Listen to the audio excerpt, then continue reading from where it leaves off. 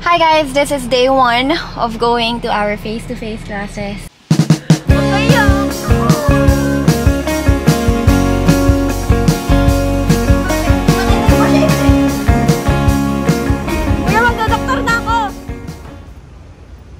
Hi guys! I know sobrang tagal na nung last vlog ko. I think more than a month na. It's just sobrang dami ko talaga pinagdaanan this month. At in, ang lala ng pinagdaanan ko na medyo tumigil ako sa study habits ko. Tumigil ako sa pag-vlog kasi hindi ko lang talaga kaya emotionally to do all of those things. But this month, we're slowly getting our lives back together again. We are back in our study table. We're back to vlogging and ang dami ko na rin pinagdaanan na rotations. I think the last vlog na na-release ko, nasa community medicine pa ako, pero nakapag-rehab na ako, nakapag-derma na ako, nakapag-radio na ako. Hindi ko lahat na vlog yon dahil sa pinagdadaanan ko. And I'm sorry kasi hindi ko kayo nasama sa journey na yon But now, I'm in pedia rotation and it's so exciting kasi babalik na naman kami ng face-to-face -face classes.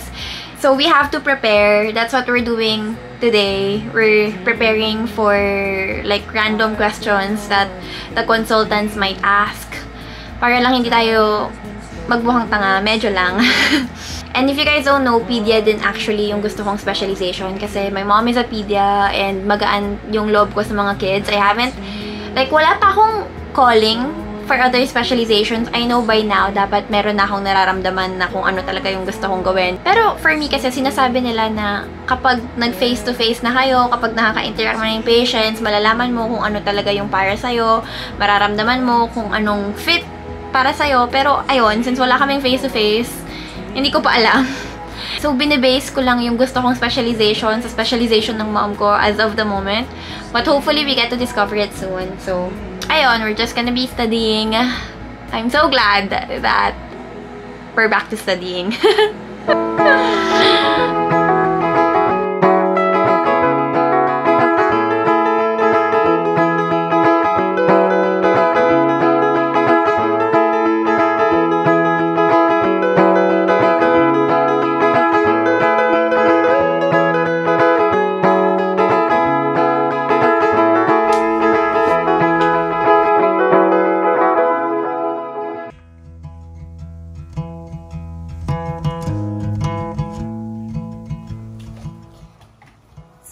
morning people! We are gonna be going to school in a few hours. Pero before that, I just wanted to do a quick skin update. Kasi nung past month na sobrang stressed ako, sobrang dami kong breakouts and everything. Medyo nagpa-flatten na siya and nag-improve na siya. It's because I think I stuck to a new skincare routine. Um, I've been sharing this in my stories the past few weeks, so feeling ko alam nyo na rin to. I've been keeping all my skincare items in one bag dito ko na lang siya kinikip para kahit saan ako pumunta, dala ko na siya. So, kahit nagta-travel ako sa Airbnb, kahit nagsi-sleepover ako sa friends ko, or kahit dito man lang sa bathroom ko, naka-isang pouch na lang siya, lalagay ko na lang, and then I will just get it. Konti lang yung laman niya, and gusto ko kasi sa skincare routine ko, very low maintenance, para hindi ako tamarin gawin sa gabi. Just something very quick and easy. So, my favorite one from this bag is the Pond's Healthy Hydration Aloe Vera. We all know how good aloe vera is for the skin, very hydrating. This one, it has a jelly texture. So, kapag pinahid mo siya sa skin mo, para ka talagang nag-apply ng natural, like, legit extract from aloe vera. And this one is 100% natural origin extract and 100% alcohol free.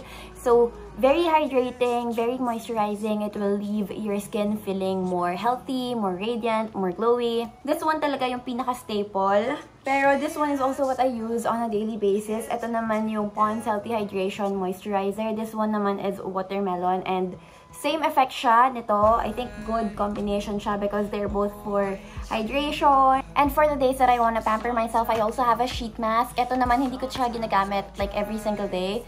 Feeling ko lang when I want to give my skin some extra loving care, doon ko lang siya ginagamit. This one is a tomato extract version and ang dami niyang vitamins na kasama. It has vitamin C, vitamin B3, vitamin E, vitamin B6, vitamin A, vitamin B5. Like, I mean, do I need to say more? Sinishare ko na rin tong Pond Skincare Corner Kit ko sa mga friends ko. So, I've been giving them their own gift bags. Tapos, eto rin yung mga laman because if you order from Lazada or from Shopee, they are giving away this free pouch. And you can actually use it as a sling bag, like that. And ayun, magto-12 na, so we're gonna have to change to our scrubs, arrange our stuff, hopefully hindi mag-isa mamaya, and wish for the best. So, yun! Don't feel anxious, don't feel shame. If there's a question, it can wait another day. Don't feel like it's all in vain. I try to remember, ain't a race.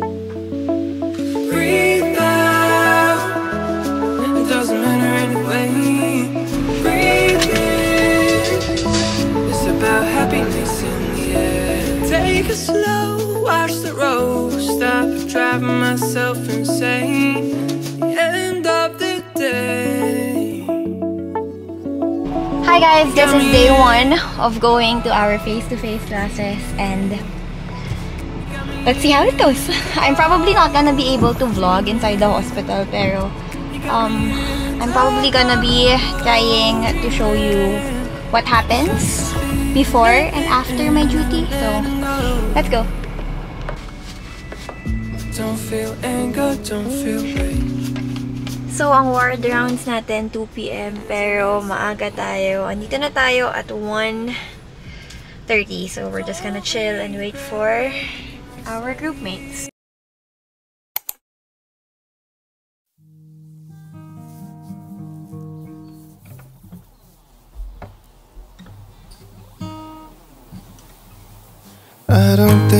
Like that, she says to me. I can't help but feel the subtleties. So if it all expires, I guess the date's not what it seems. But I can't help it, boy, she says to me. I'm not sure I truly gave my best. Made a home, but still feel like a guest. Hi guys, so ito yung magiging ride namin today. Para siyang, what's this car? Suzuki Carry na ginawang ambulance. Kasi meron kaming infirmary sa vegan. Pero ayun, wal- di pa siya complete. So we'll put lights. Ito di, ambulance tayo. We'll put lights and then we'll put sirens. And then the stretcher's there. So, Uh-huh. just the oxygen tank. Tapos, maglalagay ka rin ng PA Dito. system PA dito. system. So ganito siya. So, whoop, whoop, whoop. Ah, tabi po tayo dyan. Tabi po tayo dyan. whoop, whoop. So, yan. First tone, ito yung parang busina lang. So, tat, tat, tat, tat. Pangit! Ah, tas next tone is whoop whoop whoop. Yun yung well. So yung mga manual yun. Ang lalito yung automatic. So next na naman is woo woo. So yun. yun So, ang yung naman. pinapakabit na yun, like parang sa mga jeep. Ay, magkano ba sa jeep? Di ba sa jeep, nag-iiba-iba sila ng ano, meron kayang kumakanta pag nagpapasina. Yung sa jeep yung Oh. yung pang horror. so, this is my sister. This is Kuya PV, her fiance, and then this is Ate Kayana, my brother's girlfriend. And who are you? You are And not I'm the kid na pinagbawalan dito sa, sa harap. Kasi ba- bawal daw bata sa harap. Kuya, magdodoktor na ako. Life is gonna be great.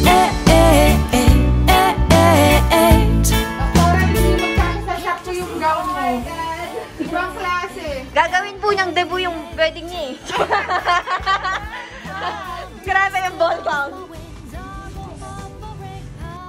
yung gown niya. Siyempre, hindi papakita. So, just to give you a reference na hindi ako OA kapag sinasabi kong mahaba, mahaba talaga. Ha? Ano Sorry guys, di kasi nagdabo yung ate ko. Binabawi dito sa wedding niya. Oh my God, ate! ate, kapag, nagla church, buong church yung sakop niya. Kailangan po namin mag-rent ng studio para lang mag-practice siya maglakad. Kasi mabigat. Huwag kayo!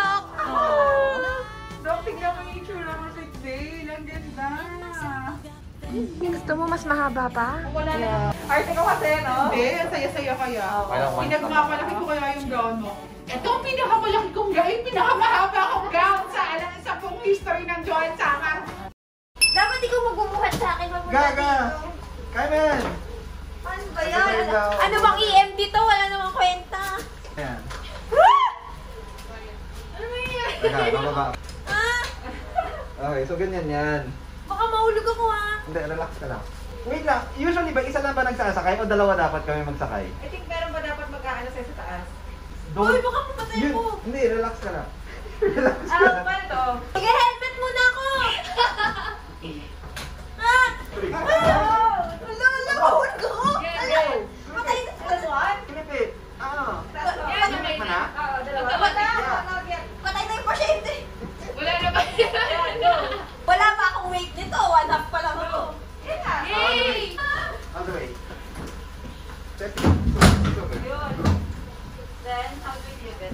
And then we clip it like this.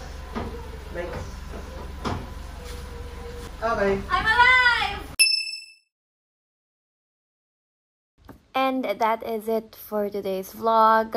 Um, I hope I get the courage, the motivation to vlog again, and I hope that life gets better from here on out. Thank you so much for watching, and I'll be back.